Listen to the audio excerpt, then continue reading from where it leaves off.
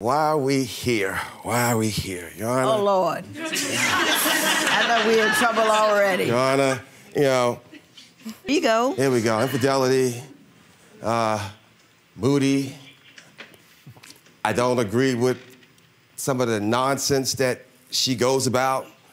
Well, Tell me some of the things that you believe she's done wrong in this union. She does not do well with alcohol. certain things that I cannot drink. I drink wine, But you can't drink hard liquor. but I Yeah. can't drink hard. So Hard. I forget that I can't do it. And and at this story that he's about to tell, they had gin, and I thought a couple of shots of gin wouldn't be an issue.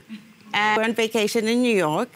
I, I decided I I can drink vodka, and Because she was so b- So belligerent. belligerent. Yes. Do you recall getting body slammed? The next day my back hurt. Yes. Yeah.